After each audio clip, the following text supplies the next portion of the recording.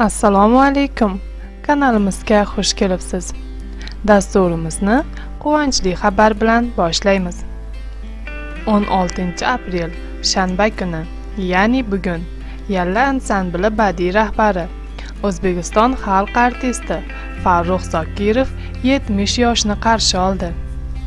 Farruh zokirov xalq artisti unvoni bilan 6 ta respublika o'zbekiston qoraqalpog'iston qozog'iston qirg'iziston tojikiston va ingushetiyada taqdirlangan. 45 yillik ijodi davrida yuzdan ortiq qo'shiqlar yozgan. Ular orasida choyxona uchquduq majnuntol shahrisabz bakabang torimning siri kabi xit taronalar bor. Yalla ansambli 45 yildan buyon sahnada bu markaziy osiyodagi eng katta ijodiy muddat. Ansambl 45 yillik gastrol faoliyati davomida 5000 ga yaqin konsert dasturini taqdim etgan.